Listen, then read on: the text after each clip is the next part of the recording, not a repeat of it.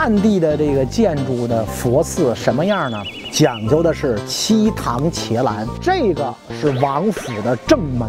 雍和宫里所有的匾都是最漂亮的匾，两边的狮子，这个是公的啊，摁个球让你玩蛋去；那边呢是母的，摁个小狮子啊，这我儿子别碰。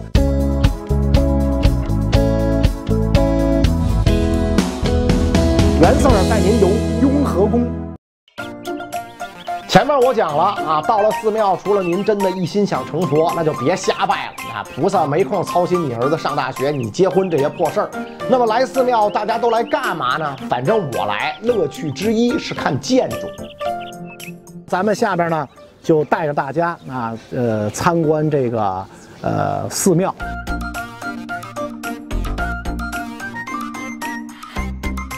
雍和宫啊，虽然是藏传佛教的庙宇。但是呢，里边住的呢都是蒙古僧人，这里边到今天都是蒙古僧人，不是藏僧啊，不是藏僧，因为他历来呢是这个张家呼图克图驻西地，所以呢他是蒙古的僧人。今天的住持胡雪峰大师也是蒙古人，辽西的蒙古人。这胡雪峰是他汉名，我也不知道他蒙古名叫啥。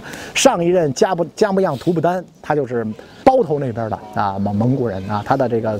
祖庭在那边，所以咱们来看啊，咱们来看这个雍和宫啊，是藏传佛教的寺庙，但是呢，它因为呢是用汉地的王府改建来的，所以它的建筑基本上是汉地的建筑式样，啊，汉地的这个建筑的佛寺什么样呢？讲究的是七堂伽蓝，或者呢叫伽蓝七堂制度。就是汉传佛教的寺庙啊，一定要具备七种建筑。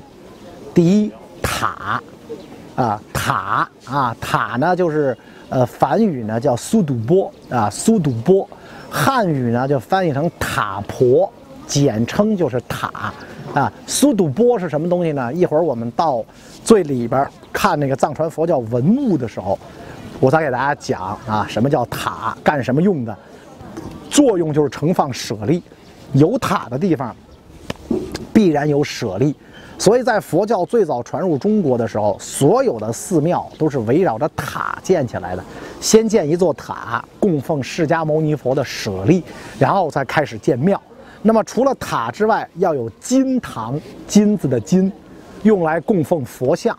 要有讲堂用来讲经说法，这三个东西塔、金堂、讲堂构成了佛的身、口、意啊，这三个三个。然后呢，经阁，经书的经，搁佛经的啊。然后呢，僧房，所有的僧人住宿的地方，僧人必须群宿，庙里三百个人睡一间屋。至少一百个人睡一间，三百个人睡三间，夜里互相监督，谁也别干坏事儿是吧？然后呢，食堂三百个人一块儿吃饭，对吧？一块一一块儿吃饭，那在一个一间屋里吃饭，免得你偷偷吃肉，是吧？然后呢，最后有一个钟楼，塔、金堂、讲堂、金阁、僧坊、食堂、钟楼、七堂伽蓝。后来呢，这个伽堂七蓝制度啊，逐渐就破坏了。那首先呢。这个塔没有了，为什么呢？因为这个佛教在唐宋时期在印度基本上就没了，佛教一没。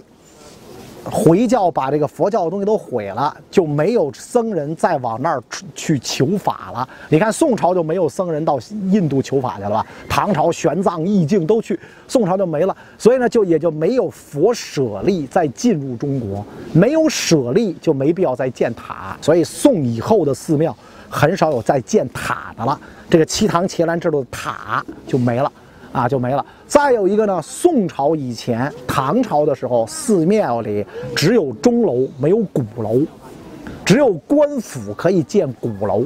因为那个时候呢，商品经济不发达，市场上卖的东西都是 LV、爱马仕，老百姓也不买啊。西象牙、犀角、玳瑁、黄金，老百姓也不买。所以呢，偌大的长安城。八十平方公里，只有东市、西市两个市场，啊，在城的靠南的位置，只有这么两个市场。日中为市，太阳升到正中间的时候开市，那时间也就是现在的十二点多一点。日落闭市，那冬天的话，四点多就日落了，所以这个市开市的时间一天只有三个多小时，因为没有人去买东西，所以无所谓啊。那么一闭市就要进街了，老百姓你上街干嘛呀？街上也没东西，叫进街。进街的时候，城市的鼓楼打五百响进街鼓，啊，它这个频率是砰砰砰，这个频率。五百响，鼓声一停，谁还在马路上溜达？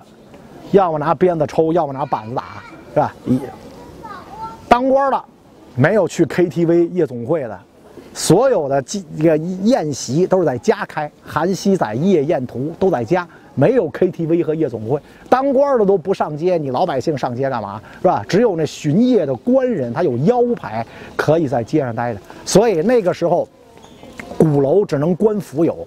寺庙里不能有，明白这意思吗？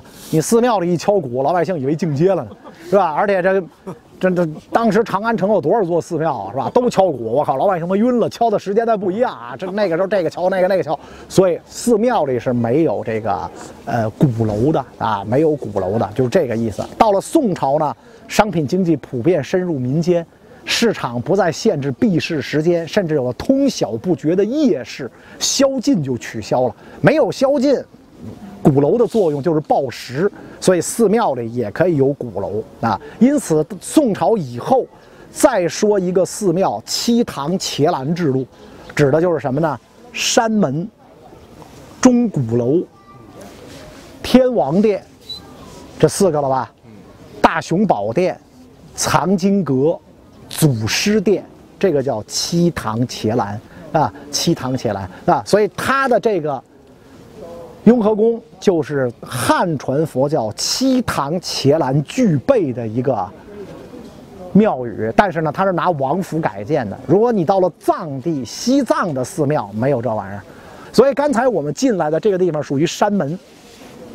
山门，当年王府的时候是没有这个门的啊，这个门一定是影背墙啊，是影背墙，没有这个门。钟鼓楼这都是后建的，还有这个碑亭啊，这都是后建的。然后这个是王府的正门，啊，雍和门，相当于其他寺庙的天王殿。两边的狮子，这个是公的，啊，摁个球让你玩蛋去；那边呢是母的，摁个小狮子，啊，我的别碰，啊，这我儿子别碰。这边的公的说玩蛋去，啊，就是。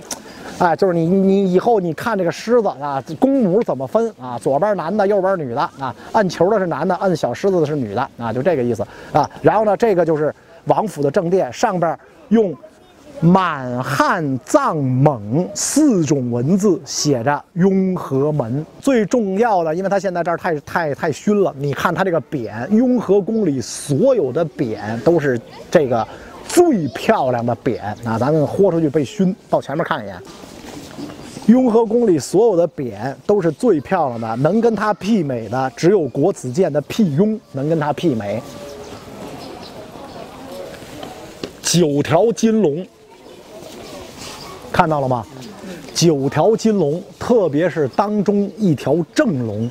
啊，然后左右八条行龙啊，八条行龙，只有皇帝的龙袍上可以有正龙啊，就是脸朝着你的，这个叫正龙啊。然后像亲王四团龙，两肩、前后胸四团龙，镇国公就用方形的龙了啊，方形的龙龙补了啊。到镇国将军那就跟这个。武将一样，就是该一品麒麟补，二品狮子补，三品熊补，四品虎补，就就跟那个都一样，是吧？所以他这个这个正龙是只有皇家才可以用啊，正龙，是吧？说到龙袍上啊，龙的讲究，我就忍不住要喷一喷现在的小年轻们啊，在身上各种乱七八糟纹身，自以为很酷，但其实犯了大忌讳。怎么个忌讳呢？下一集咱接着说。